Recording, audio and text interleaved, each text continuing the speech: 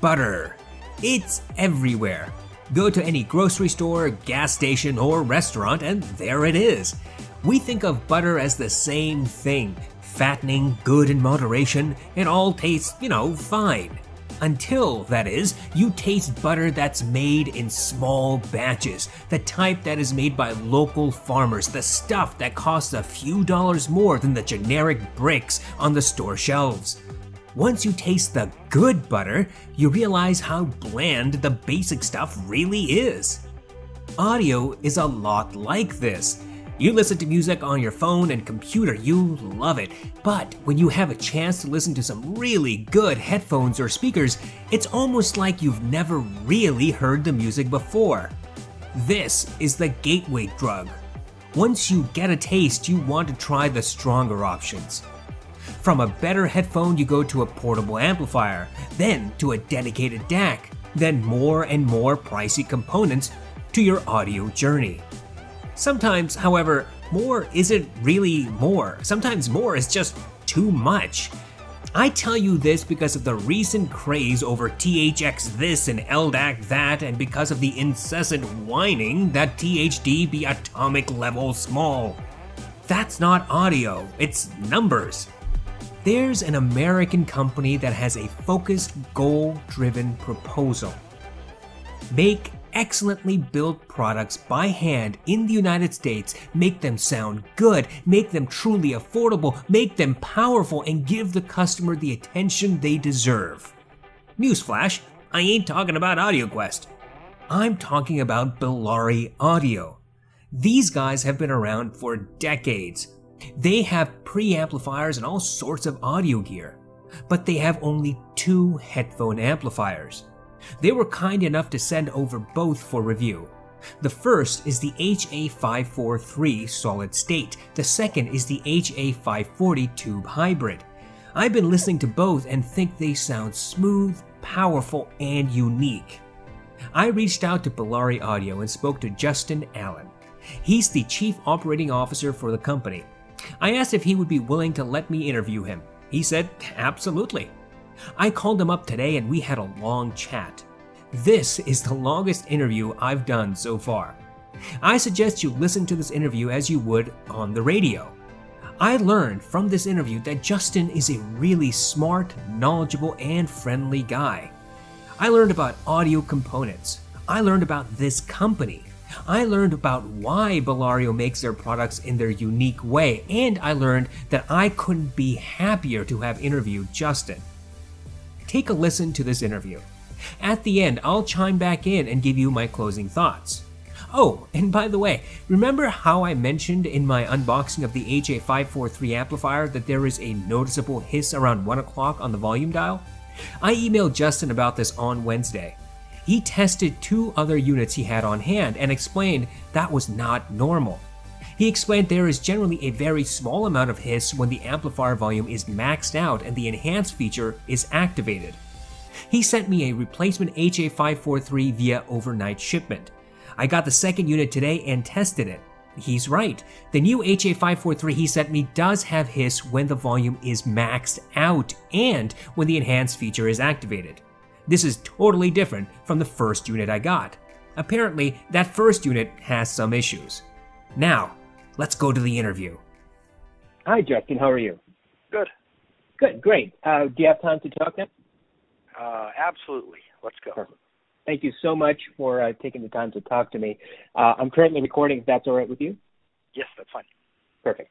Uh, first of all, thank you so much for sending the replacement unit. Uh, I got it and I plugged it in, and it it does what you say it's supposed to do. There is a bit of hum there, but uh, it's significantly different from the first unit that I have.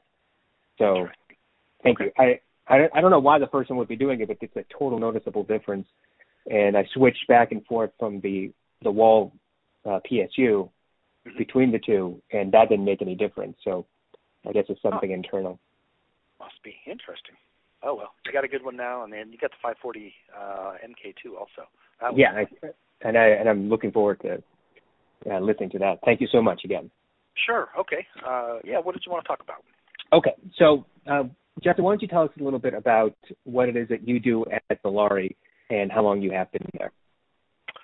Uh, let's see. I'm the the COO, also uh, partial engineer, production manager, and I've been here since uh, 1991. So 28 years.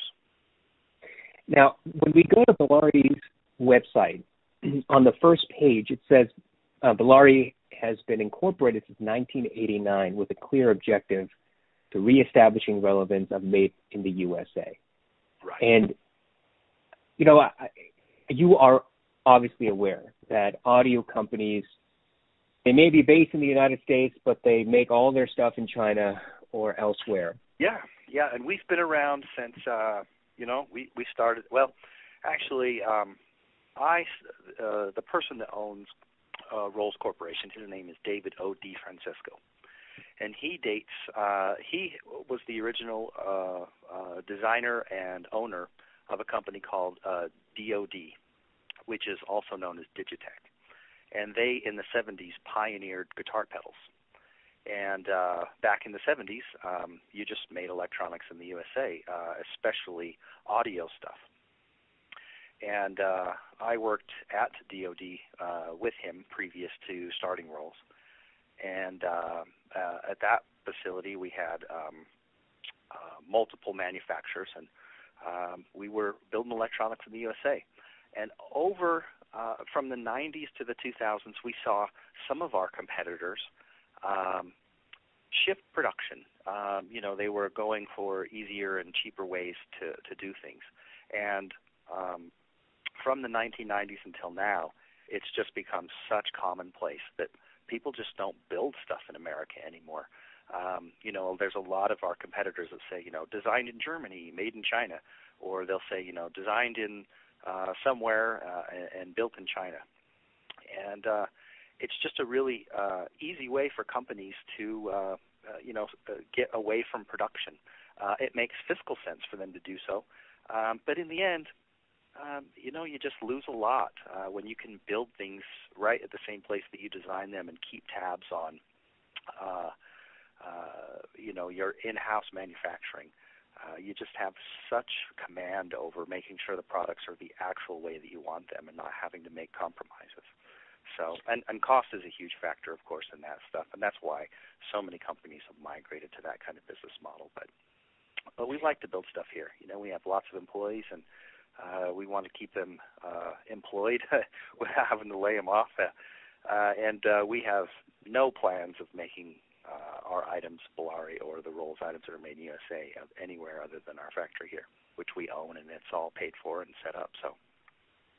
Yeah, I'm really glad that you mentioned that because uh, doing things in house is should be the end end goal. That should be the beginning goal and should be the end goal for any company, I think because then, as you said, you have full control and command over the yeah. product that you're designing and your shipping. Uh, and I assume you know something about drop or mass drop. Uh, you've heard of I do, uh, and I own some of their products. Um, I own the uh, M1060s. I really like them. Uh, I think you're talking about monoprice. I'm talking about. Oh, that's drop. monoprice, right? Oh, yeah. yeah, mass. Yeah, I'm familiar with them too. They sell quite a range of products. Yeah, so with Massdrop and things like that, they collaborate and they and they outsource their stuff to parties in China to manufacture. And it turns out that it looks like that Monoprice, Monolith, and Massdrop all seem to be collaborating with the same manufacturer somewhere. And it's just creating things for both companies at the same time, and they look identical to each other and basically sound very close to each other. Yeah. And so that sounds like what what your company wants to avoid doing. You want to have your own yeah. character. Well, and I I have some uh, hilarious stories about these kind of uh, Asian manufacturing. Um, I I don't know if they're some of them are a little lengthy, but um, they're they're pretty entertaining. But you want to tell us one? uh, I, I will. This is a funny. This is a funny story. I'll I'll try and keep it really short. Story time's kind of you know not a great interview, but so we we came out with a Rolls product called the PA202 it's a very small um, uh, installation uh, amplifier, 20 watts per channel, and it would go in like schools and, and be mounted in like ceilings and, and, and various uh, installation type of places. So we, uh, uh, we, you know, we start our production here. Uh, we order the chassis from our chassis company, which is um, five miles down the road from us. They've been building our chassis made in the USA for uh, ever since we've been in business And uh, so get those parts on order, and we decide to um, do a graphic rendering of this item and put it on our website. And so we, we do this graphic rendering of the PA202 and kind of soft announce it on our website, say, you know, this will be available coming soon. And about three days later, um, we got an email from a Chinese manufacturer. And the email basically described that, uh, hi, we have a new product we think you'd be interested in. And they took um, the artwork from the manual that I designed. they took the rendering of the product that we had, um, took it and modified it, and then asked us if we wanted to buy it from them. and uh, and they said we and they said we have these in stock, ready to sell now, uh, 380 pieces in stock. And of course, this was three days after we put it on our website. So we went back and forth, you know, a few questions, and it was clear that they were uh, the English wasn't their first. Uh, uh, they were they weren't so good at it, uh, but we kind of got through a little bit. And uh, uh, anyway, uh, it was just you know a story like that is just so comedy of how how these things can come about. You know how manufacturers can get copied, or uh, people can have uh, you know, contact you and say, you know, would you like to buy this? Well, you know, just the egregiousness of some of the things that uh, the business tactics uh, from that region of the world are, are, are just kind of amazing to think about. Yeah, no, I, I agree. The, the the Chinese government doesn't really have um, intellectual property laws, and if they do, then certainly don't enforce them. So it's yeah. dangerous to send your your your hard-earned and, and hard-designed stuff to China to be manufactured unless you have strict control over what's going on. Which is why that's the benefit of having it in the United States. Because if you own the factory and you have the whole facility, who's going to rip you off? Well, it's happened. We've been ripped off in the past. We've had uh, some of our competitors, um, big named uh, companies, uh, just take our products and completely knock them off. Uh, kind of all of the uh, uh, the Behringer uh, Mackie mixer ordeal, uh, the famous one where they Behringer took a Mackie mixer and completely copied it, and uh, on the circuit boards, if you opened up their mixer, it would still say um, uh, Mackie on it, and re- release it as a Behringer product. Um, and we've had that happen to us on a couple of products, especially our more popular ones. But uh, you know, uh, you're going to get copied occasionally. That that's just that's not nothing new. Um, a little more prevalent maybe as of late, but uh, you know that that just happens. Especially if you have something popular and people want to me to it. You know that's what we run into a lot. Is the companies say, "Oh, so and so's building such and such. Oh, oh, I can build that too." You know, yeah. not even put an original spin on it or or do something different. You know, uh, so and that's the annoying part as an engineer. As an engineer, when you say, "Well, you know, I understand that you know circuits, um, audio circuits really can't be patented, but um, at least if you're copying it, you know, throw some creativity in there, you know, add something to it, you know, for the benefit of, uh, you know, but, uh, but uh, we see that a lot with the Asian uh, manufacturers as they they are really good at copying things, and that's basically what they're all about. One of the things I've noticed with all your product is that it has a very unique aesthetic. That it it just has this, and forgive me if if, if I have this wrong, but it has this 70s, 80s type of aesthetic that I think is charming in a way. Is, yeah. Is that the way you guys wanted to make your products look from the outside? Yes, uh, because if you look at the items that we have for Bellari and Rolls, you know, you can kind of you can tell right away that they're they're all made in the same factory. You know, they all have the same fit finish kind of look to them. There are of course different sizes, and we have rack mount items for Rolls, and the Bellari pieces are uh, kind of rounded. Uh, and that chassis design was uh, just something that we came up with. Um, and recently, a lot of the new Bellari products, um, you know, they're only about a year old, so it's kind of newer for us. But um, but yes, um, you know, when you look at certain products, especially, you know, you can kind of see like some of the manufacturers use like what I would call car stereo chassis. You know, they're kind of like that extruded aluminum. And, mm-hmm. and aluminum's a great material to use, but they have kind of they look very similar, uh, you know, and they look like they're all from they, all, all the metal came from the same factory, and um, and when we design something, usually the design for us uh, because making chassis in America uh, is a lot. There's a lot of cost to it, so using um, aluminum front panels that we do on our uh, rack mount stuff is quite expensive, but we still utilize that material. Um, but yeah, um, a lot of the stuff that we we come out with, we we try and keep it um, similar in genre. So say, so looking at the product line, you're like, yeah, you know, I can relate that this all came from the same factory. You know, some things are different colors, but you know, it all looks inclusive and it looks different. The fit and finish is much different than uh, than some other items, and e- even things like down to the screws. Uh, you know how they go together and uh and that you know most people can tell you know it, it and it's maybe not something that's obvious but after you pick it up you're like yeah yeah this is different yes so speaking of, of different and turning to the HA543.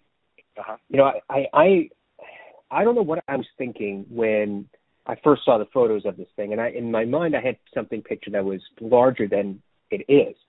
This thing is palm sized, but it feels robust, and I can't find any technical fault with it. I mean, the fit and finish looks fantastic. It looks like it that the thing. It looks like something that audiophiles constantly gripe about that they want uh, in a enough, Chinese yeah. manufactured thing, right? I I want my amplifier or my DAC to feel heavy, and I want it to to to have robustness and metal, and yours has it, but it has it for less than a hundred dollars. How is it possible for you guys to to squeeze as much power as you have into the 543, keep it as small as it is, and yet still use all this top quality metal that I see and feel? Yeah.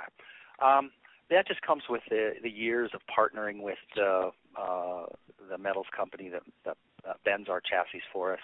Um, it comes with uh, us having a guarantee that we're uh, going to do so much business with them and basically keep them afloat and uh, keep business going. So it's kind of, um, uh, you know, if you were to take, um, you know, one of our units and say, you know, how much would this cost if I made in Asia?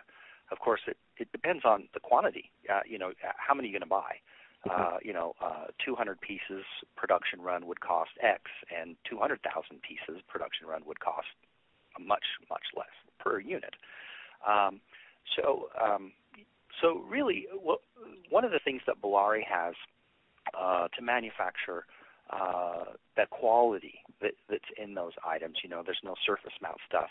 Um, the, the components are put in by hand. Um, it's through hole technology. So, uh, and I saw you saw images of the you took the the, the 543 open, which we encourage.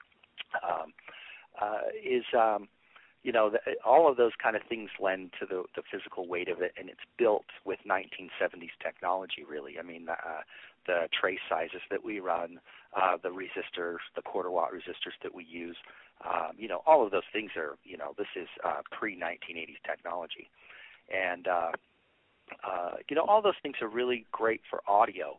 Um, I think, uh, especially using larger capacitors, you know, uh, 100 volt capacitors instead of surface mount little tiny caps that uh, may change with uh, various voltages. Um, you, you know, so um, you know, all those things add up. But but really, the value of Bellari um, and, and you know, it's kind of weird when you look at audiophile stuff is you've got um, companies making things for uh, just outrageous prices, but you say, you know, how how can you build something that costs five thousand dollars?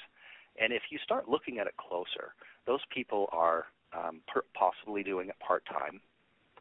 They're possibly uh, have working out of their home, which would you would think would save money, but they're ordering um, you know, the chassis in one or two. Uh, and some sometimes they actually build these one off. Some of these big audio shows you go to and you say, you know, how many of these have you sold? They usually don't tell you. But after you get, you know, after you have a few drinks with them, they'll say, I, I, I sold two of those last year. And so then you take that number, you kind of work backwards and say, well, what does it cost to buy one chassis? You know, what does it cost to buy one uh, you know, one of these and five of these jacks, and you're ordering these, you know, pieces one at a time and paying you know, a, a enormous amounts for shipping.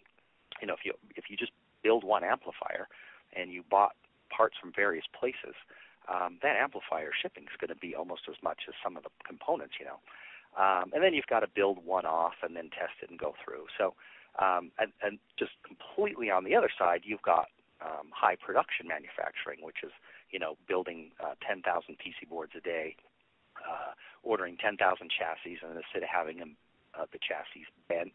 They'll usually have them uh, stamped, uh, have uh, dies made, and those dies are very expensive. But once you're doing higher quantities, it becomes very worthwhile. Um, so there's you know somewhere in between there is uh, uh, something affordable and worthwhile having.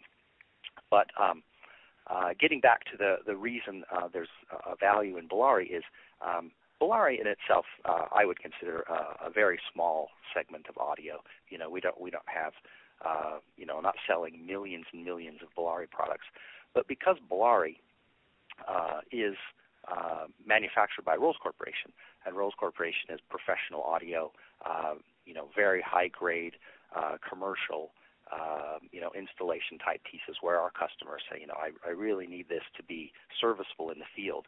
I really need this so that, you know, if it goes down at a job site, uh, you know, that somebody plugged it in at the wrong place, you know, I can crack open the lid. One of my techs can work on it because I can't overnight it back and forth. So it's kind of got that reliability issue to it, um, and that's what that's one of the things that adds a lot of value to Bellari. Is Bellari is a, a small company, but it's um, being manufactured in the same facility as the Rolls items, and we're buying, you know, hundreds of thousands of jacks to manufacture the Rolls items. We have a partnership with our metal company that we're, uh, you know, Rolls uh, manufactures uh, uh, about 45,000 items per year, and Bellari is uh, considerably smaller than that, but it gets to the benefit of, uh, of being manufactured in the same facility in the same way, and our parts cost uh, because we're buying so many parts uh, quality-oriented parts, of course, like the chassis you say, you know, feels good. Um, but we're able to to uh, to get uh, higher quality, lower cost items, and and, and pass that on uh, to to the consumer. So with the five four three, I'm sitting here and I'm and I've and I've been listening to this since when, when did I get it? I think yesterday, a couple of days ago, and and I and I can't help but think that there's a character to the 543 that seems to be missing in THX amplifiers or ultra uber clean amplifiers that have no distortion and no noise at all. And when you say that you're using technology that's been around for decades in your amplifier and your in your stuff, why do you think that that stuff of old, the technology of old, still has merit and worth now in 2020? Uh, yeah, that's an interesting question. You know, I wouldn't say. I mean, you know, if you're using a computer, you want surface mount everything, of course. Um, if you're using telecommunication stuff, um, the technology that you would use to do that. But you know, I've, worked on uh, a lot of uh, really old guitar tube amplifiers, and uh, you crack open a, a 1968 Marshall Plexi, and you look inside, and you're like, "Oh, there's a handful of components, and then there's these big transformers, and uh, uh, and of course vacuum tubes, and uh, and you look at it, you say, well, well, wait a minute, there's there's only like 35 parts inside of a Marshall uh, 1968 Plexi uh, amplifier. And of course, they're world-renowned. You know, almost all uh, guitar players. That's the holy grail of an amplifier. And you say, well, how can this sound so good with just 20 parts in it? And sometimes the simplicity is the answer to that. Um, you know, if you're using, uh, I, I've seen some, you know, headphone amps, and uh, I've seen, uh, seen the inside, and they've got relays, and uh, you know, literally like uh, just 400 components inside. And you're like, well, it's a headphone amp. What do you, what, you know? I mean, there's lots of things that could be going on, but uh, you know, I don't know if that's it. If um, if a lot of the um, common things that you'd buy today, you know, oh, this is a, a nice, uh, you know, headphone amp, and uh, and and if that has any correlation to it, and uh, to be honest, um, there's really no reason I could put on to say why one thing sounds better than the other. You know, it's always just uh, you know, it, it goes back to the the classic argument for audiophiles: is do you buy things on specifications or do you buy things on sound? And then you have people say, well, you know, I didn't want to buy your XYZ unit because it has, you know, 0.05 THD. And and the reality is is you can't even hear 1% total harmonic distortion. And to be honest, most tube amplifiers or uh, at least well, guitar tube amplifiers might be a bad example because they have a ton of harmonic distortion. That's why they uh, they have the distortion. But um, uh, you know, there's what people like uh, is is is just that. Uh, you know, your ear is so inaccurate. uh, your ear can't hear certain things. You know, uh, you've got frequency response as you get older. Um, you've got uh, left and right hearing indifferences. You know, there's all these factors, all these things that are adding up to as a person ages that their hearing decreases. But, but having said that, that doesn't mean that they can't enjoy music. And and when you say, well, um, you know, I remember doing this. Uh, I worked at uh, Fosgate Audio uh, a long time ago, and um, you know, we did a whole bunch of uh, kind of obscure tests. You know, whether you'd like to hear your speaker grills on or off, or uh, whether people preferred this. And and we would have uh, at the time it was partnered up with uh, they were manufacturing Fosgate Audionics was manufacturing at the DoD manufacturing facility, which the owner of this company previously owned, and we had you know hundreds of employees there, and we'd you know get a sample of them and, and just find out what they liked. You know, so design things, you know, that say, okay, this has really low THD. This has, you know, uh, almost no uh, IMD. This has, uh, you know, uh, uh, amplifiers. You know, these have a great dampening factor, and all these other things. And then you sit down with people and say, you know, which one do you prefer, A or B? And, you know, you do these pseudo tests. It's really hard with human ear hearing to uh, to listen to something and then even three or four minutes later listen to something else and get a, a good opinion. You've got to s- switch them very quickly, uh, and it usually takes a few days. You know, uh, when we test things here, it actually takes us possibly a week of listening to it, going back and forth, and saying, you know, do you prefer uh, this unit with um, sounding A or sounding B? And and it can take months before we get something, but um, the reality is is you know, we just really don't know why people like what they like. And everyone's different. Um, some people have a preference of liking a sound that has uh, characteristics of more treble, or uh, some people are really like the bass. And, and so you say, you know, when people review something and say, you know, what's the best? What's the best headphone amp I can buy? And and and you could just get to a point where you're like, you know, you you just have to to listen to them and see what you like.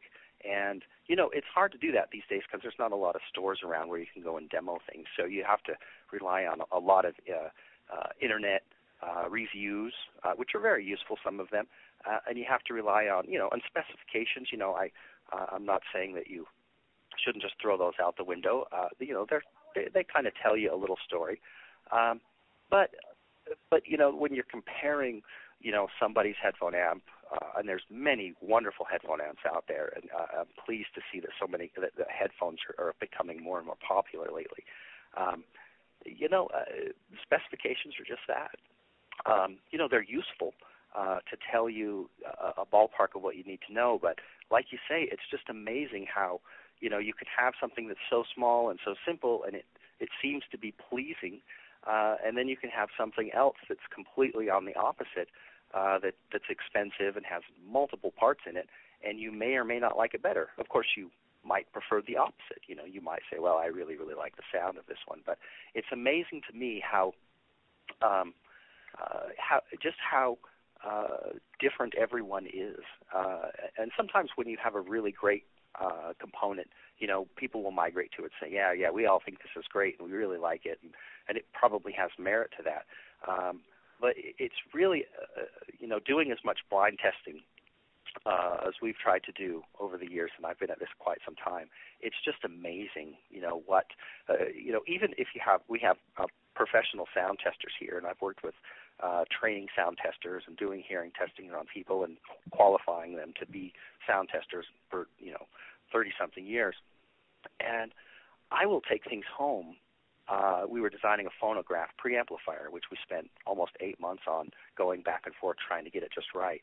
And I would have uh, my wife's friends uh, over, and I would say, "Hey, can I A B something for you?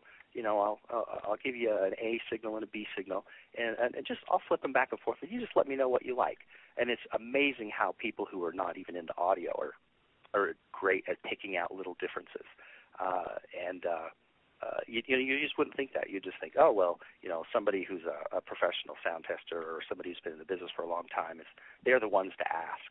Uh, and then uh, you know you take some of these components to just the regular public, and uh, and and you learn a lot, you know, about people's preferences and, and what they what they like and don't like. But getting back to your main question, you know, as far as um, what would be the best or why something sounds better than another thing? Um, you know, I think if if the industry could actually honestly answer that, we'd probably have a whole bunch of components and on items that were near identical. Uh, and you know that's not what you see. You see such a wide variety of manufacturing types and philosophies in design, and uh, some things are simple, some things are complex, and and, and that'll just be uh, that'll continue on. You know, there's no one way to say you know what makes something the best. Would you say that the components of the 543 are on the simpler side of construction than the uh, complex side? Oh yeah. That makes sense. Uh, yeah, you know, um, well, with components, you know, you have resistors, capacitors, operational amplifiers, transistors. Uh, you know, and, uh, in any unit, you've got a power supply. So, uh, you know, some some companies, uh, you open it up, and the power supply is, you know, wildly uh, uh, parts driven, and they're doing that too to get as much noise uh, as possible out of the circuit. Um, eh, but but if you look at just you know the components they're used, uh, you know, uh, for the most part, if it's not tube based, it's uh, it's got an IC inside, and and different ICs sound different. Uh, even though their specs are very very similar, you can hear subtle differences in each one. Um, and uh, uh, you know, you've got uh, this is uh, this is kind of funny because um, being in commercial audio for such a long time, commercial audio is about reliability and sustainability and you know can this be repaired? You know is this got little surface mount parts in it that you know uh, basically if it, if it goes down do I have to throw it away and buy a new one? Or if it goes down can I actually fix it? And being in commercial audio for so many years um, and and uh, the Bellari consumer audio being relatively new only about a year and a half old the conversation that we're having now reminds me so much of when we would design uh, guitar pedals in the uh, in the 80s and um, people would say, you know, well, I prefer the this guitar pedal because it has a better sound than this other one.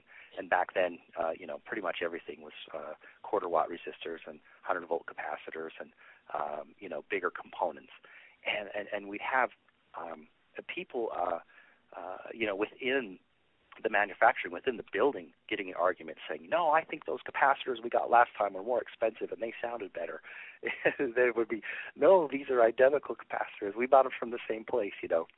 And the reality is, is it was perhaps just more of uh, what people thought that they heard rather than what they did hear.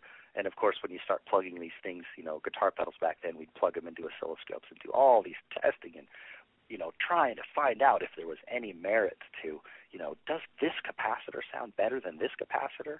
You know, uh, even though the manufacturer said it was the same one uh, and manufactured in the same place, maybe it was a different revision, you know, or something. And then we did all these tests to find out, you know, what types of capacitors we thought uh, were better, or you know, was spending five dollars on one cap worth it, or should we just continue to buy the ones that we've purchased? And um, uh, and so you know, it's just so subjective. Uh, it's just so hard to, to put your finger on exactly what's happening.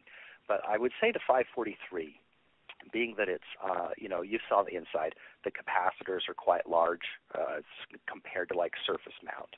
Um, and, and that's probably one issue that I would say. Uh, you know, surface mount capacitors, um, they will change their capacitance with uh, heat and, uh, uh, uh, uh, and voltage. So if you're running uh, surface mount capacitors at 20 volts, um, that capacitor can change over over time as you use it, as the unit heats up. Um, and that just doesn't happen with larger capacitors. You know, 100 volt capacitor that's a you know a through hole capacitor, old old 1980s technology. Which I say 1980s technology, but if you were to crack open um, you know, one of the amplifiers or preamplifiers that costs twenty thousand dollars, you would see um, you, you wouldn't see surface mount. You may see surface mount if it's got a digital switching, you know, for the remote or something like that. So there there there might be some digital, uh, some surface mount parts in the digital section if they if they've got uh, something going on with remote. But predominantly, in the uh, audio path, you would see very large capacitors. You know, you'd see very large, at least quarter watt or half watt resistors. Um, and so whether that's a good thing or a bad thing, that's just something that the industry, you know, you notice when looking at different uh, different items. Uh, and uh, predominantly, those very very expensive items would be through-hole technology. They wouldn't be um, manufactured in in a surface mount kind of way. And that's just because the components that they're using are very expensive, uh, and uh, those components are always radial axial parts that are going into a circuit board rather than a, a pick and place machine putting surface mount parts on. So I, I would say, you know, overall that would that would probably uh, you know set the the 543 apart from from some manufacturers, but there's a lot of manufacturers out there that are building really quality stuff too. So, um, but that's just something that we do. Speaking of, of quality stuff, what, how do you choose the components that go into say the 543? Uh, well, that actually just comes off of years and years of experience. Um, you know, capacitors, you've got electrolytic capacitors, uh, and, electrolytic capacitors in a power supply. Um, those um, uh, those don't necessarily, you know, they're not audio capacitors. Um, so if you're using, uh, you know, so you open up a unit and you say, oh, well, I see electrolytic capacitors and, and I can see what name brand these are. Um, electrolytic capacitors are usually very standardized, very similar. Um, I would say, in my opinion, uh, not a lot of sound difference. Uh, you know, you're not going to be able to swap those out and be like, oh, yeah, that was noticeable. It's just not going to be there. Film capacitors, um, those those are different. Um, you know, and anyone who has a guitar and you pop in some Bumblebee capacitors in your Les Paul and you take them out and you put a different brand of capacitor in there, and you're like, yeah, I, I can hear a difference. Um, it's fairly subjective. Uh, it's not over the top, you know, noticeable, but uh, uh, but it's you know it's a thing. Uh, uh, so um, you know, I I would say um, the way that you buy parts is you have to partner with a company that you've dealt with for a long time, so you know their quality and consistency. Um, and I have, we, you know, uh, being at the, being at this a long time, we have bought components from um, big name companies and got them in and had issues with them in um, tolerances or uh, build quality and reliability also. Uh, so really what you have to do is, you know, if you're manufacturing something, say, you know, why did you buy the capacitors that you bought that were in there? And say, oh, well, you know, I've been buying, I, purchased a, a few million of these capacitors every year, and uh, and I know the company, I know who they are, you know, and we have them uh, actually the capacitors that we make, the, the electrolytics, we actually have them color coded for us, so when we're building them, it's easy for us to quality control the boards. Um, and uh, you know, as far as other components go, um, we do a, a, a large amount of testing on ICs uh, uh, here, you know, to find out noise and, and various things. And uh, we've we usually uh, have been sticking with companies uh, for at least five or ten years. Um, you know, we're used to them. We know who they are. Uh, we know that we're not getting uh, counterfeit parts, which is a, a huge thing in the last three years of manufacturing. Uh, even a lot of bigger companies have been duped into to buying parts from various suppliers. If you keep uh, moving around your supply chain, um, you know you just never really know who you're getting them from, um, and they could be duped. And then, of course, if they purchase counterfeit parts, you would be duped also. So really, um, uh, really, I think that uh, the, to answer your question, it just really comes down to experience and being in the business that long and, and knowing you know who who you've trusted in the past. Not that that's 100% foolproof because things could happen, um, but uh, uh, but I, but that's usually my would be my best advice. If someone said, "Hey, I'm starting to manufacture something," you know, should I just buy parts by this name or should I what should I get? And you say, well, you know, the the best thing is your experience. You know, knowing that you've been buying and testing and using millions of those particular components and what their failure rate is and uh, what their tolerances are, and you know, uh, do the capacitors dry out over five or ten years, uh, which is another thing. Uh, you know, but it, it just comes down to knowing your your suppliers, you know, and, and uh, being de- dealing with them for such a length, a long amount of time that you're confident in, you know, what they've done in the past and what you, you presume they're going to do for you in the future. I, to hone in on um, some of your, your products, the two that that uh, you sent me, the 543 and the 540, because I think that audiophiles need to experiment and have their minds open to other things beyond just what's the hype of the week. And your products uh, seem to provide something that's both unique and something that is uh, available elsewhere too at the same time. For example, the 540 isn't the first uh, uh, tube amplifier. But oh, yeah, there's there are lots of great ones out there. Yeah, but it's it's priced, I think, really well, and it seems to be competing with some things that are made in China yet have questionable quality. And when we turn to something like the 543, there's something that your website says, and I'd like you to explain it to us what you what your your company means by it. And here's what it says: the Bellari HA543 sets a new standard for what is possible in a headphone amp, and I want to know what that is. Tell us what it is that you mean by that. Oh, okay. Good question. So when we, so very poignantly with a 543 and all of the other components, uh, Bellari that we make, we we look at something and someone says, you know, come out with a headphone amp, and we say, well, what would you like on it? And they say, oh, copy so and so. Well, that that no, no, we're not going to do that. We're not copying anybody. You know, we're engineers here. In fact, you touched on this, I think, on your unboxing review uh, about how you haven't heard of us.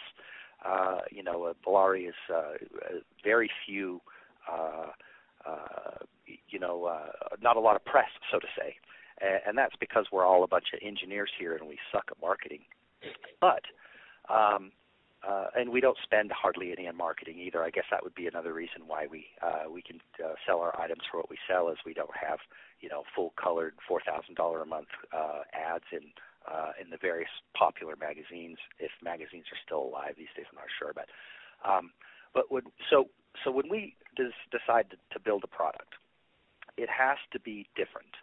And the funny thing about different is, you know, we build a, a, an equalizer, and people say, "Oh, I'm an audiophile. Equalizers are horrible." But then you start to talk to actual customers and actual people, um, and what they're actually using their systems for, and you get a completely different description of what it is that they want. And so the 543, when we came out with it, we said we want to do a headphone amp, and we want to do it, you know, differently. And so we put the enhance button on there. And of course, the enhance button, you know, people say, well, what is that? You say, oh, it's a, phase shifting um, re-equalization of the original signal, similar, very similar to a, a sonic exciter, a sonic maximizer, or a psychoacoustic processor would do of old. There's many, many names for the same thing. And you know, an audiophile would say, "Oh, well, that's I'm a purist. You know, I would never use an EQ." And you, and you say, "Well, you wouldn't, but we're selling a th- thousands of them, so somebody must like them." And I, I think that's kind of what I've noticed a, a lot of the uh, the audiophile. You know, oh well, you're supposed to do it this way. Uh, and and so the 543, you know, having uh, when we designed it, we said, well, it's really small, but what would be cool? We'll put XLRs on the input too. Uh, you know, and, in a small package that size, you know, you, you know, you look at competitor stuff.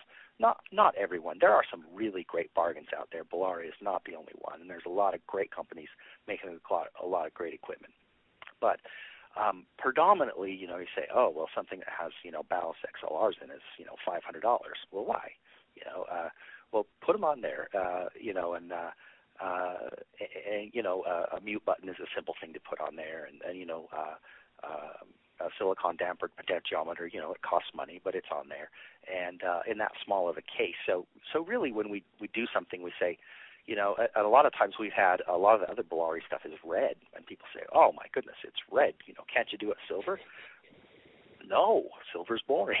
you know, uh, not not that really silver is boring. You know, um, but um, but we try and do something different. You know, something that if it's already out there and you can already buy it, why would we me to it? You know, why would we just copy?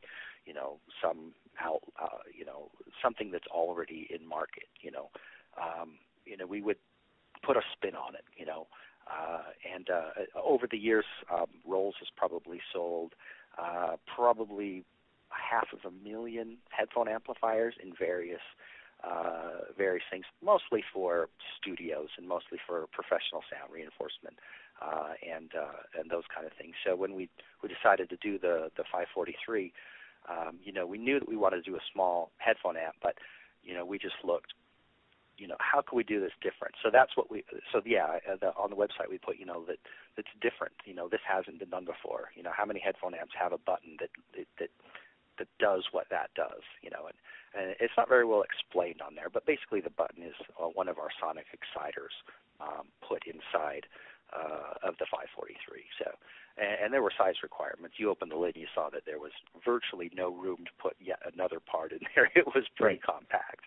Uh, now, of course, if we did a surface mount, you could probably put, uh, you know, three times as many components in there. But you know, we wanted to do it with quarter watt resistors, through hole, 100 volt capacitors. You know, we wanted to make sure that it had uh, a build quality, like I said, you know, of the the late 70s uh, technology. Um, but that that's um, something that we kind of took from, uh, you know, uh, Rolls has built uh, almost two million units uh, in its uh, existence, and we, you know, we really focus on, uh, you know, if something breaks, you know, 50 years from now, can you fix it?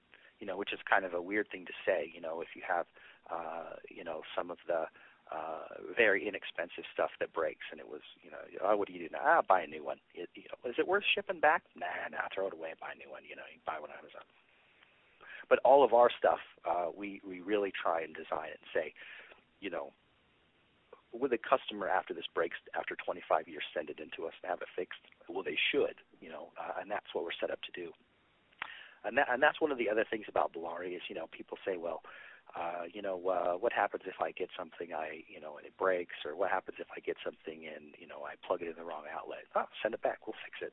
And uh, we fixed items. We've been um, uh, building a phonograph preamplifier called the VP130 for about it's about 12 years now. Not really that long but you know we have people uh, who, you know, uh, broken, uh, you know, it's broken in some fashion. They'll say they'll call us up and they're kind of surprised. You know, yeah, I've had one of these for 10 years. What should I do with it? Oh, send it in. We'll fix it.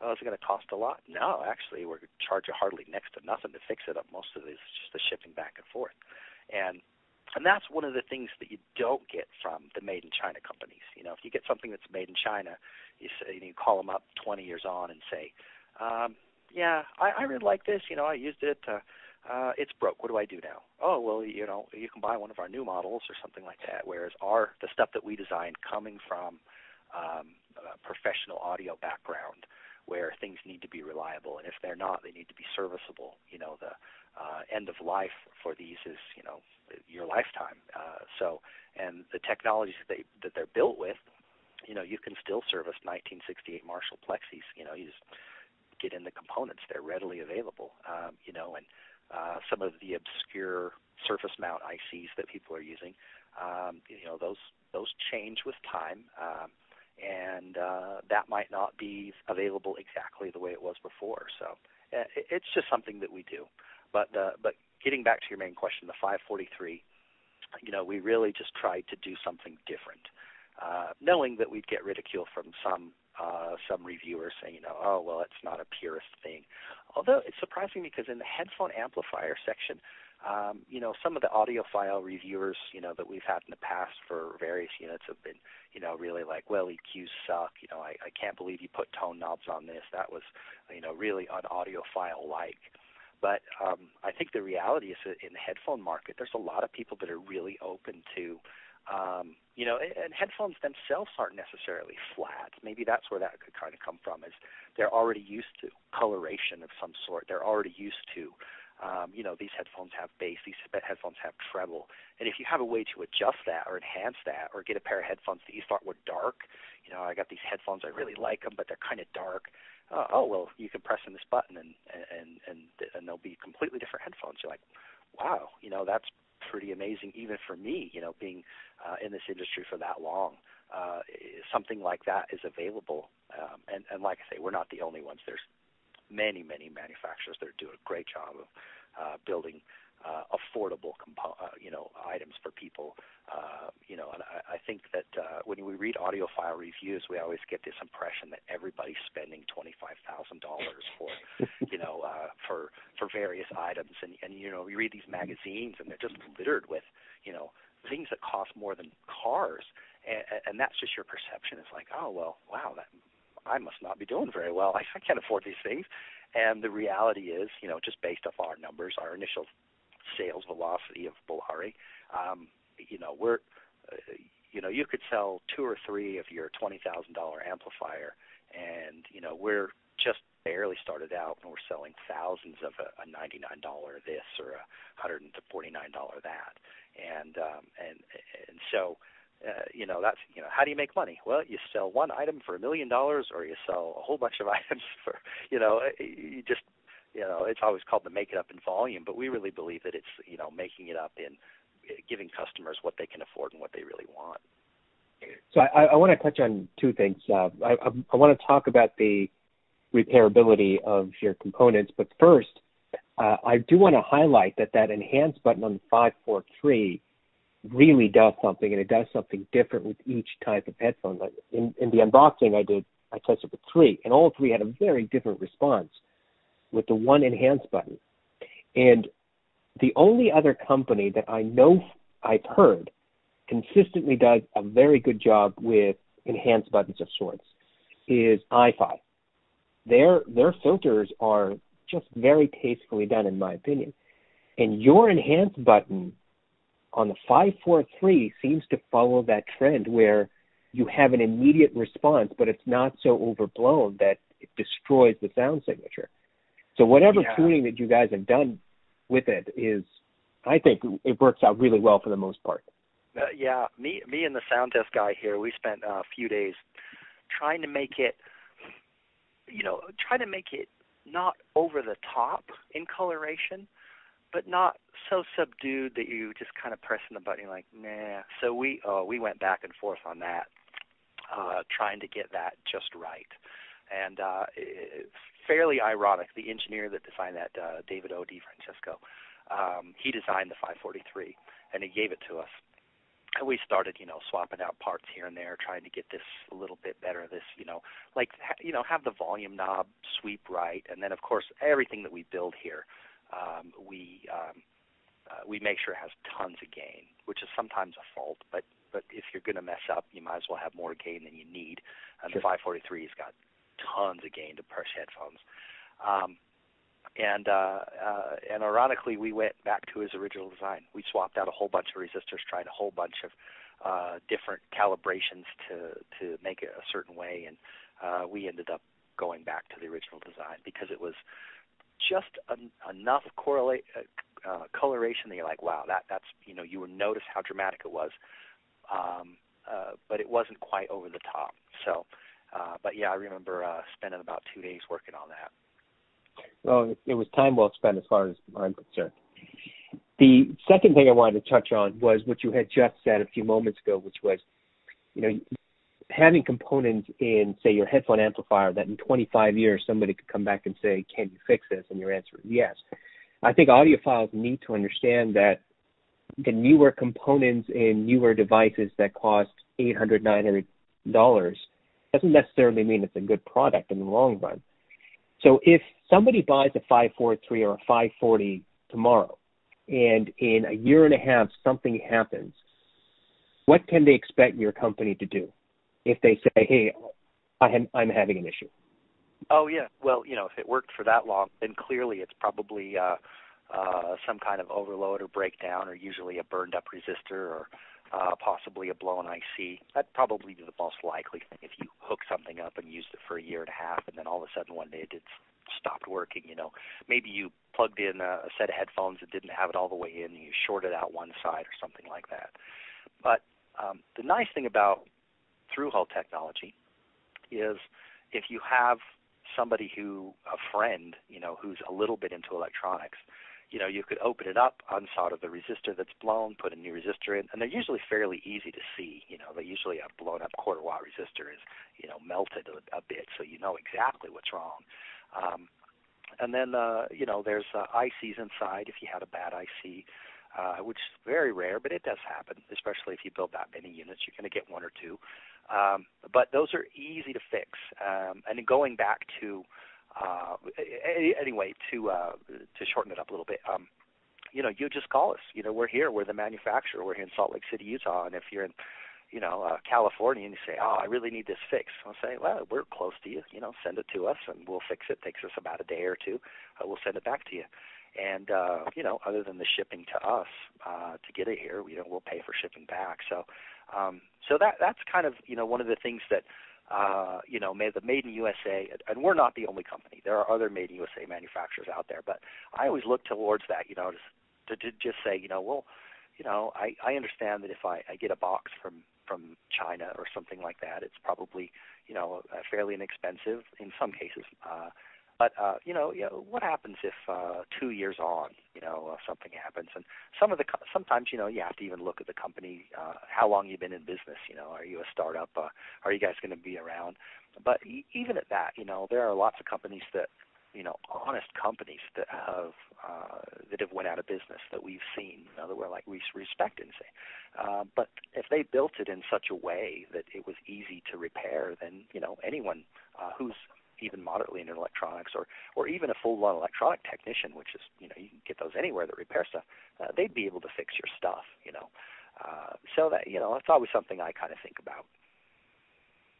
So, uh, tube amplifiers, headphone amplifiers, I think are are becoming more and more popular for various reasons. Would you tell us what prompted your company to design the 540? Because there was a 540 and then there's a 540 Mark II. Right. Uh, uh, so in essence, those if you have a 540 original, it's the same circuit as the 540 Mark II. There are no sonic circuitry differences. The only thing that we did with the 540 Mark II is we had a bunch of interview uh, reviewers say early on, "Oh well, I like the volume knob on the front. Uh, I prefer, uh, you know, the jack in this position. Uh, and so we accommodated that on the MK2. But the circuit is identical. And I had uh, we've had people call, you know, as soon as you release an MK2, uh, people call and say, "Hey, I've got an MK1. What's the deal?" And uh, anyway, uh, it's the exact same. There's no sonic difference between the two. Um, but the reason that we got the headphone amp, we actually, uh, I think we were talking to Roy Hall at Music Hall, and he said, uh, "Yeah, headphone. This was uh, boy, I think we've been building the 540 now for about 10 years. And uh, he said, you know, it'd be kind of cool if we had a, a tube headphone amp. Headphone amps are kind of, you know, getting popular. And that was 10 years ago. And uh, so we came out with a 540 and uh, re-released it. And we didn't do any marketing. We actually, um, you know, just sold it through uh, a couple of channels and, and really, you know, didn't do any press or anything. We had some good reviews for it. Um, and then uh, just recently, in the last few years, headphones seem to be more popular to me. We're getting a lot more customer calls about questions about headphones, and so um, we uh, we decided to to redesign, you know, the the uh, with the knob placement and, and, and just the aesthetics of the 540, keeping it fairly similar uh, in size and everything. We we didn't see a reason to make it smaller, but um, but we just uh, uh, you know decided uh, the the Bellari uh, Bellari historically uh, has been uh, we manufactured um, uh, under the Bellari name since 1989. Early on was um, high end recording studio vacuum tube gear. So if you do a search for Bellari old units, you'll see uh, dual microphone preamplifiers that are vacuum tube uh, with hand wound um, mu-metal transformers, and you'll see uh, we had a uh, a sonic exciter, uh, which was wildly popular. We we we had uh, won awards for it and various things. That was a, a vacuum tube sonic exciter single rack space, and these were silver and gold front panel uh, aluminum uh, type rack mount units. And um, and, and uh, the home studio market really changed um, because now a lot of things are uh, software based and and it makes sense uh, for for doing home recordings. Why you would you know uh, you know units that are seven hundred dollars a piece, and you need multiple of them. If if you're doing home recording now, you can do a lot of software based things and get really great results. Um, so we still have a few components that are studio oriented, but um, but we did under the Bellari name build uh, a VP130, which was a phonograph preamplifier early on, and that had a ton to do with Roy Hall at Music Hall uh, uh, you know, we we had built a, a phonograph preamplifier under the Rolls name called VP29, and um, uh, sold. Uh, we sold just thousands of those things, and, and that was just a customer who called and said, you know, I've got a, a receiver at home. This was in uh, the early 90s. He I have a receiver I just bought, it doesn't have a phonograph in. How do I hook my record player to it? So um, David uh, O. DiFrancesco, he said, well, I'll make you one. And so we started with that, and then uh, as that grew, um, the Bellari line, the sales of uh, vacuum tube high-end recording uh, for home or even recording studios have diminished in the numbers. Um, that's fallen off. Uh, we've just seen a decrease in sales over uh, over the last you know 15 years. Really, uh, we had a, the height was uh, 15 to, to 20 years ago. We were selling a lot of it, and uh, and so we we kind of took the Bellari name and we had the 130, which was a component, uh, an item that we built for 12 years. And we had a 540, we built it for 10 years, but we really weren't behind it. We just kind of built it and said, yeah, it's cool. You know, we'll, we'll see what happens. But we saw the market for, um, you know, made in USA, uh, headphone uh, stuff for semi audiophile or audio uh, uh, affordable components that were unique and cool. So we, uh, in the last year and a half, uh, released all of the Bellari products on, you know, you can go to BellariAudio.com, and I think we we also put them on the Rolls.com uh, page. But Bellari Audio is the easier one to to, to see just the Bellari products, um, and uh, uh, and try to do something different. Uh, but uh, but the 540, this this is kind of interesting. We we had it for for years, and uh, we were selling it exclusively through a couple sources. And uh, our numbers got down to like we were only selling like ten a month, which is you know numbers for us uh, is really low. And uh, but we built it, you know, we we just didn't really get behind it. So we really re-released the version of the MK2 and uh, I did a little press behind it, you know, uh, got a little behind it, and uh, and, and we're not selling ten a month now. they're they're doing very well, uh, even compared to some of the the popular Rolls products. Uh, so uh, I'm not sure exactly what Bellari hit on in the market, uh, I'm not sure exactly if we just got lucky or or, or, or what happened, but uh, uh, so the but the newer Bellari products, uh, we're surprised to see the velocity of sales in, in this short period of time too. So well, I, I can say your question. It, it does, and, and I can say that it's really hard to find American-made tube headphone amplifiers, hybrid amplifiers, solid, you know, uh, the complete tube amplifiers. It's really hard to find that from America, within America. You got to go to China to get to get stuff, and that's an iffy proposition for a lot of people. Yeah. Now I'm looking at the I'm looking at at the tube that's in that comes with the 540, and it's a 12AX7, which I think is an American tube. Is that right?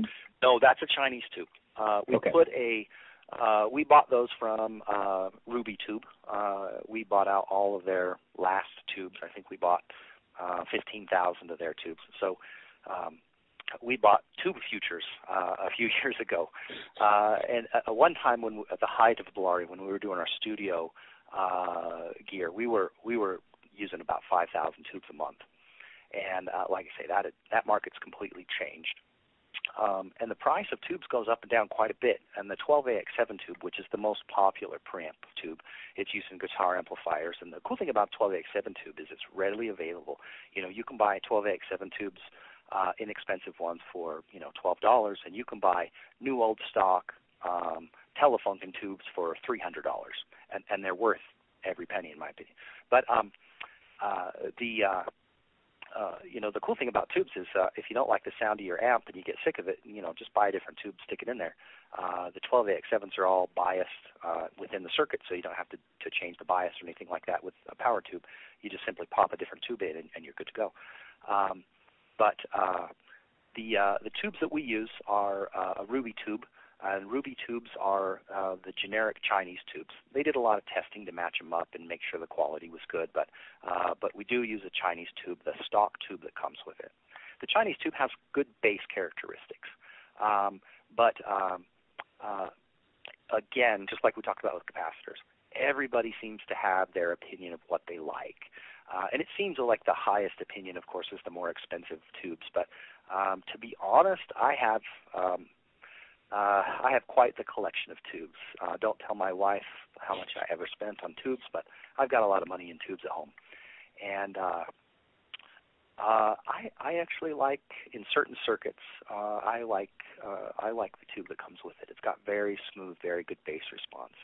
Um, I do like the GE new old stock 5751s. A 5751 is a direct replacement for a 12AX7, assuming the unit you're putting it in has enough current uh, to run the filament, which ours, of course, does.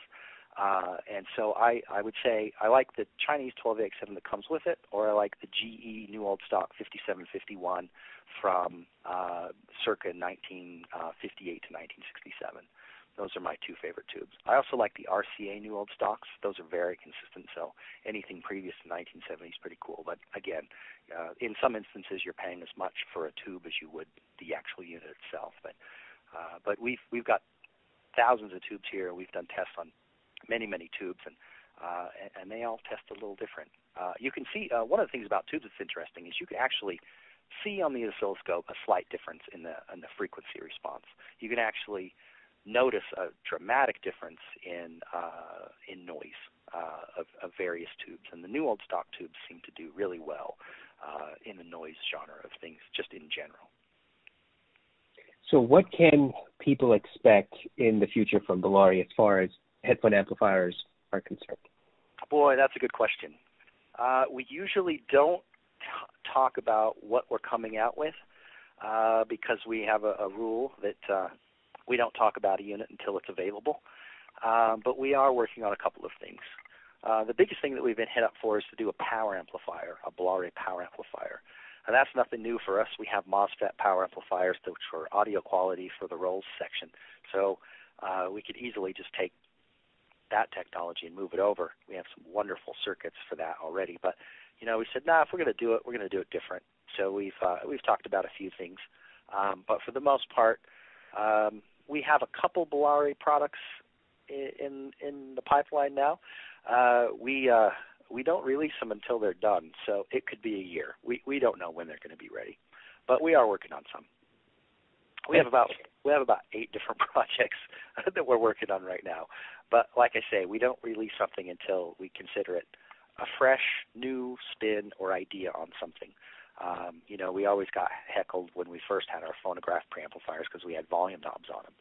And Like, well, who puts a volume knob on one of those? Well, we did, and now it's becoming more popular. You know, we're we're seeing more and more people put them on there, and uh, we have a, a phono uh, preamp for Bellari that has uh, bass and treble controls on it. And uh, people, who would want a bass or treble control on a phonograph preamplifier? That's ridiculous. Uh, well, apparently a lot because we've sold a lot of them, and we get calls, you know, from people saying, "Oh, I've been looking for one of these." You know, and uh, sometimes I'll just you know talk to them and say, "Well, you know, what about uh, tone controls? You know, aren't those kind of out of fashion? Aren't those kind of like, you know, not audiophile?" People like, uh, "No, it's what I wanted." so I, I, I'd like to give manufacturers an opportunity to tell us who their product is for. I think it's important for them to, first of all, to know what their market is, and second, for people who are in the market to know if they are the target. When looking at the 543 and the 540, who do you think should be interested in purchasing these two products? Um, dudes like me, people who really like audio. I, I love audio, but you know, man, I I like to spend my money on other things. I don't really have, you know, if I had twenty thousand dollars in my pocket, I would buy twenty thousand dollars worth of stuff, but it wouldn't be twenty thousand dollars worth of audio gear, because I like audio, uh, and I have a headphone amp at my place, and I have, uh, you know, uh, a record player, and I have, uh, uh, you know, good speakers and all this other stuff, but but I don't want to have a hundred thousand dollars tied up in my home system. I, I think that would be kind of for me um, that's that's just not me. So so what I what I found, and I found this a lot through Facebook, uh, people posting things, and I'd contact them and ask them questions. There's a lot of people out there who really like audio, but they're like, you know, I want something really nice, but my threshold is like 200 bucks. Does that make any, you know? I, I, and so, and then of course you read all these audio magazine reviews of, you know, I, this is funny because I, I had an audio magazine, and uh, it was sent to me, and it said affordable home preamplifier. And I was like, oh, this sounds great. I'm going to open it up. And I, I go to the page, and, and and it was sixteen hundred and ninety-five dollars. That was affordable. And so I went in the back with the magazine, and before I showed people the article, I, I walked up to them and I said, "Hey, uh, what do you think an affordable home preamplifier should cost?" and people were like, "I don't know, like one forty-nine. And I and I show them the magazine ad, and they're like, that's ridiculous. Sixteen ninety five is affordable. You know, sixteen hundred ninety five dollars. Now, of course, if you went to Rocky Mountain Audio Fest and you had a sixteen hundred ninety five dollar preamplifier, you know, that'd be a bargain. Um, yeah. So you know, it's like cars. You know, you get you know people like Ferraris, you know, and uh, not many of them own them, and we all talk about them, and they're all cool, and we all memorize some of the specifications for them, and say, you know, ah, this is a Ferrari 5, Ferrari 548, uh, and it has this much horsepower. The reality is, not many people own them, and so when we come out with a Bellari product, it's designed for everyday people who are who are into it. You know, uh, even like a, a set of M1060 headphones. You know, is that for everybody? Well, no. You know, they're like 299 unless you're smart, you get them for 199. But those are the people that you know are looking for a bargain. They're looking for something that sounds really, really good. That's that's exceptional, but it's affordable. And and when we come out with a Bellari product, that's what we say. You know, we want something that's that's exceptional, that sounds really good. Um, and, but we're really looking for um, affordability. We're looking for, you know, can you just buy this on a whim and be happy with it? You know, will this will this be years of enjoyment? You know, and, and sometimes when you're, to be honest, I don't own. Uh, okay, I own a phonograph that's that's pretty expensive. It was uh, full bore list was like twenty eight hundred dollars, but of course I know people in the industry, so I got it for less. But I still spend nine hundred bucks on it, and um, and that's a lot of money. I, I'm not really happy with it. I would rather have a two hundred or three hundred dollar phonograph. I, I just it's just me, you know. I, it's a lot, it's a lot of money to have tied up into it. So th- that's the person we're after. And it's funny because you know I read all of these things online and I see all these reviews and um, you know of course I um, uh, when the Bellari line was first launched, I contacted. I know all of these people in the auto industry. I I contacted. I won't drop any names, but high-end people of reviewers of magazines. And uh, and I said, oh, here's the new Bellari line. Let me know if you want any of these components. I'll send them to you so you can evaluate them. I heard nothing. And then like a week later, I sent it back again, and all I heard was, and, and this was their reply: If you would like to, um, uh, if if you would like to advertise with us, uh, it's eighteen hundred dollars per month and we prefer to do a 12-month contract, and uh, we'll uh, put your ads on our online on our little symbols that pop up on the right-hand side, and we'll we'll put you in the magazine, and and then of course it's reading between the lines. If you advertise with us, we'll review your stuff in the back, mm. you know, and tell yeah. you about it.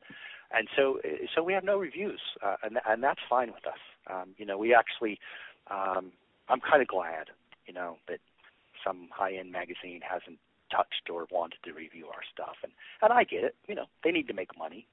Uh, that's how they operate. You know, they don't work for free. But I do find it a little bit disconnected from their audience that they don't say, "Oh, well, we're reviewing this product this week, and here's my raving review of a ten thousand dollar power cord, which will, of course, uh, you know, fill in all of the descriptions that they have. Uh, this will work great in your system. You know, I don't even know what you plug a ten thousand dollar power cord into, but it, it must be an expensive piece. But um, but yeah, the the people we're selling Bellari to when we we design something and think about it um, are just you know average people who love audio, and um, and it's really easy to sell something that's you know 150 or 99 on a lot of them and have a lot of people happy about it. And it's what we're good at. Uh, you know we don't uh, uh, we don't have any plans of uh, making a, a ten thousand dollar uh, preamplifier or a uh, you know, two hundred thousand dollar power amplifier. Um, it's just not what we're about. You know, I, I I could do it. You know, if somebody came to me and said, "Well, you've been engineer for a long time.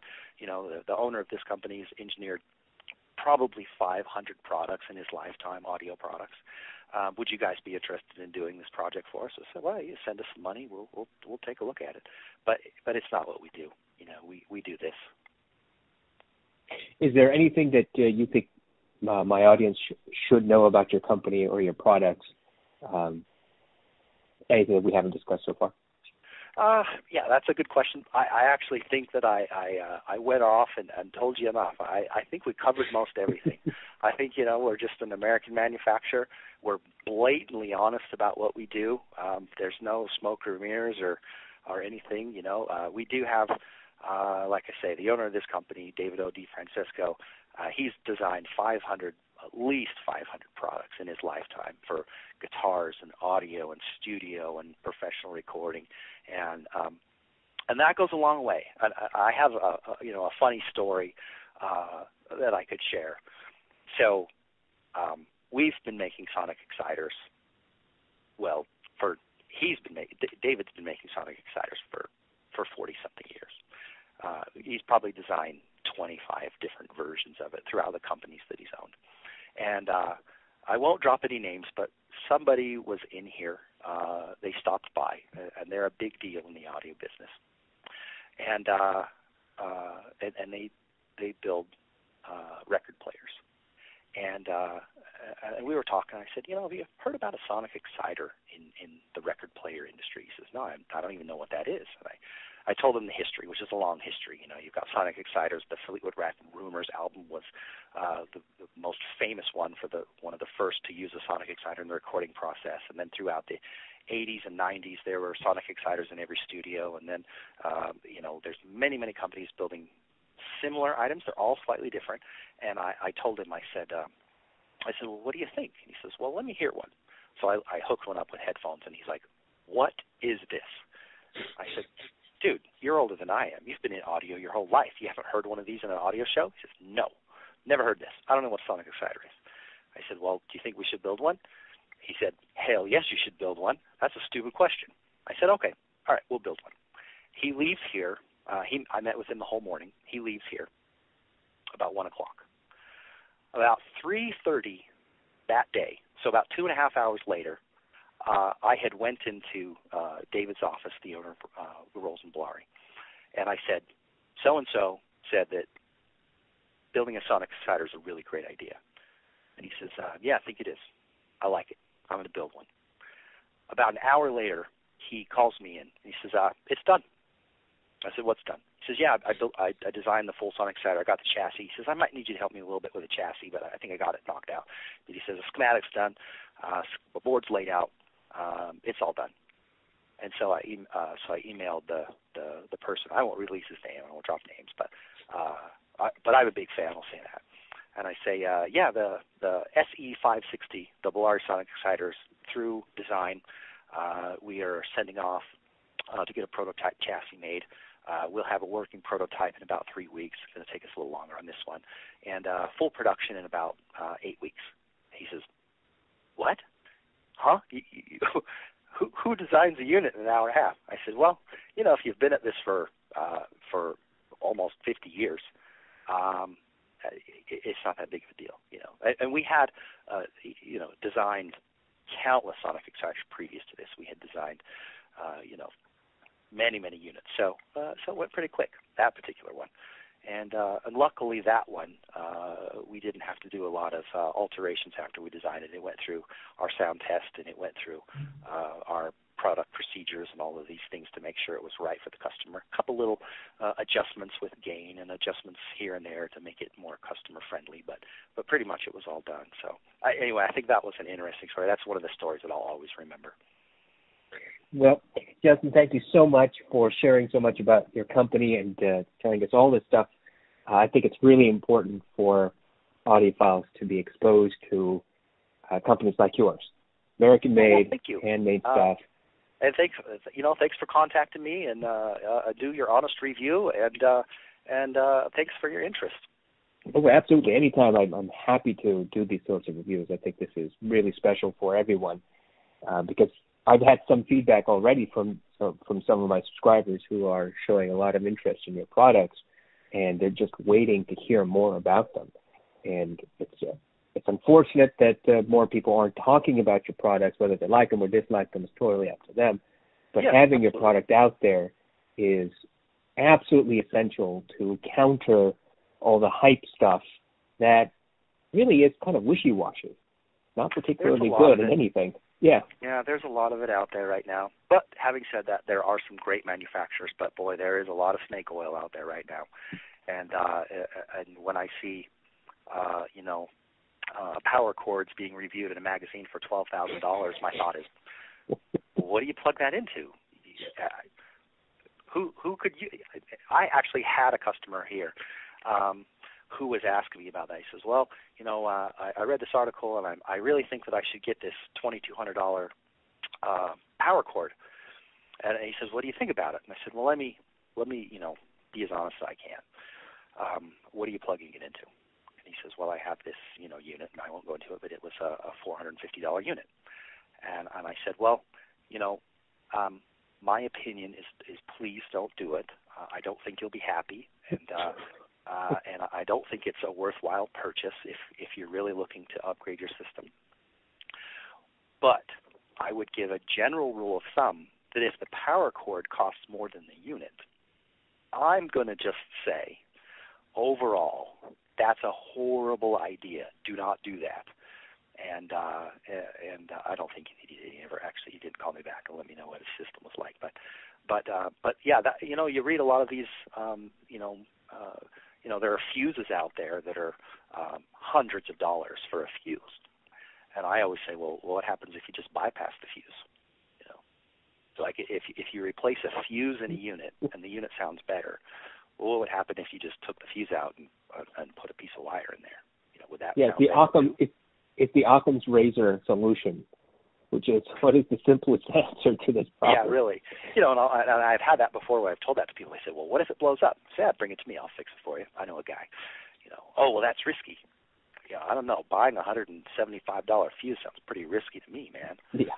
So, so, uh, but uh, yeah, you know, it's all out there. And but you know, um, boy, I, I wish I had more time. I got more stories for you. I was uh, one of the CES shows 25 years ago, and there was the first power cord that was five thousand dollars, and there were engineers just pulling their hair out and yelling and stuff. And at that time, I said, I said, you know what? I'm not going to spend a lot of energy trying to dismiss the science or argue or anything. I'm going to spend my energy coming out with new products that people want to buy. And I don't care that somebody sells a power cord that costs 12 or 20 grand or, um, you know, or, or somebody sells a fuse that's, you know, more expensive than the unit they're putting it in. Uh, if you buy it and you're happy with it, cool. The only thing I require is that you don't come to me and say, "Yeah, my system sounds better than yours because I got an expensive power cord." Uh, that, then I'm going to have an opinion. But other than that, you know. Uh, but the one thing I do see is a lot of people call up here and they, they you know, they're not, you know, 30-year experts, you know. Uh, and I'm not an expert at marketing. Bellari's marketing sucks, but we are experts in engineering. Uh, we've been out a long time. And when people call in and say, you know, I've got this and this in my system, and I've got this and this. What do you, you know? And I'm I'm thinking about upgrading to to this X component or this X or that.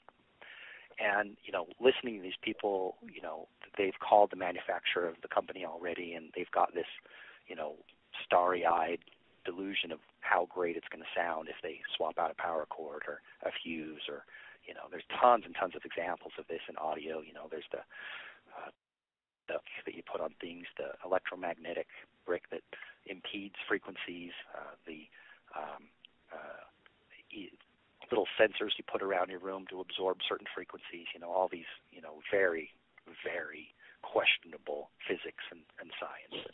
And, and the only thing I feel bad is when um, people get duped. You know, people are buy into it or, or get caught off guard. Because someone like me, I'm not going to. You know, I'm not going to get caught off guard. Um, mostly because I'm really cheap and I'm not spending 12 grand on a power cord. But um, but some people do, and, and that that's sad. That that and that's a, a black eye for the entire audio industry.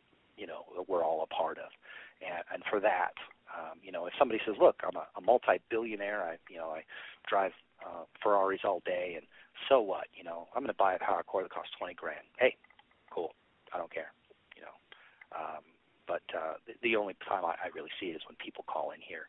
You know people are in the market to buy something in our price range and they they you know they've spent a thousand dollars here and fifteen hundred dollars there. And and that's the that's the side the dark side of the audio industry that I, I really don't like. And, and a lot of that's perpetuated by um, what magazines say you know and what they uh, you know people who who uh, uh, are in in that genre of things you know uh, elect to tell people about improvements that they'll make and and that's the one part that I that I don't like about audio. Other than that, everything else is pretty cool.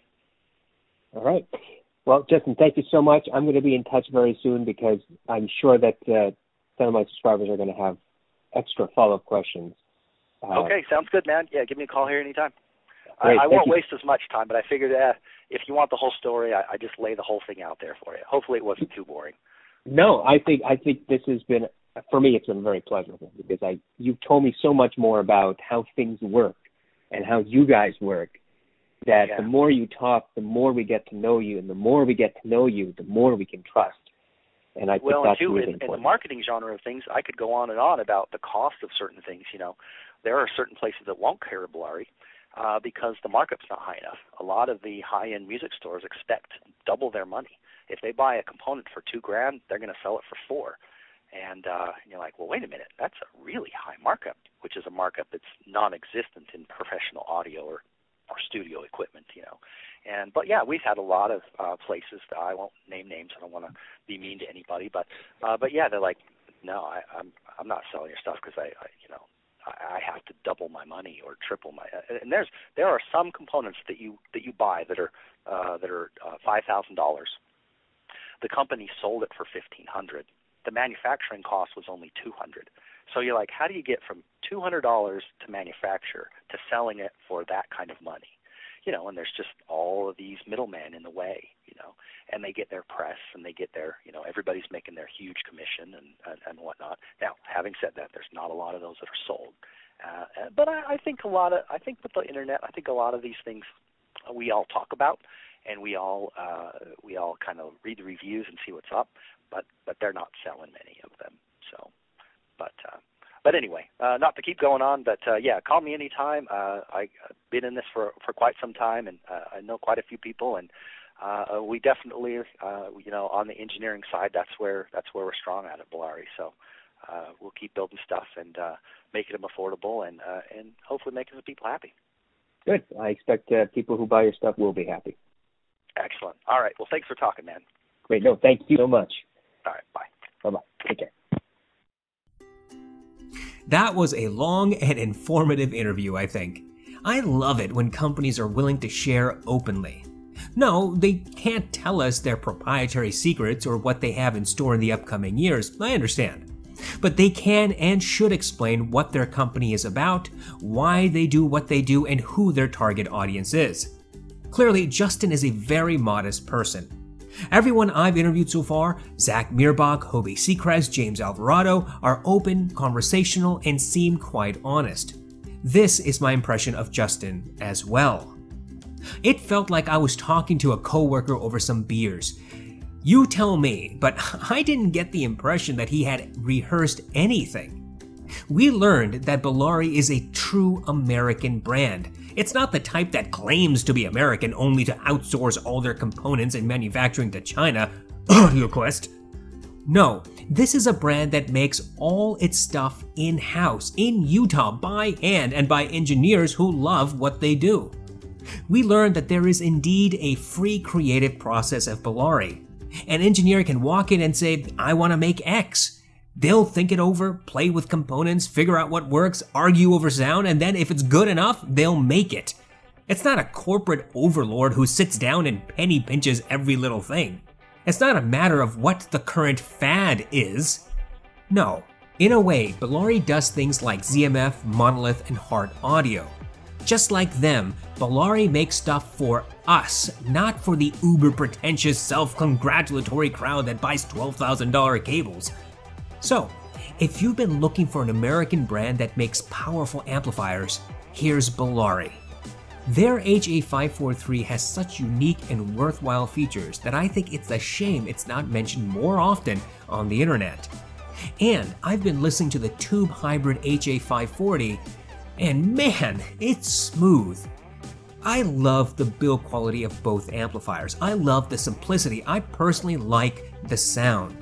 And I love that Bellari has a policy to take care of its customers today, tomorrow, and 25 years down the line.